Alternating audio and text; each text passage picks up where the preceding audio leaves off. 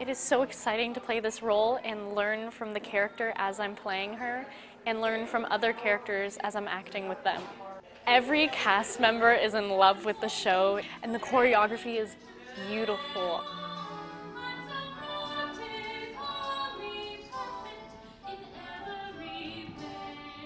everyone is just putting their all into it. And so coming to this show, I want to give the audience the feeling that we have while we're performing and how excited we are to be up there. I hope they're excited to be there watching us.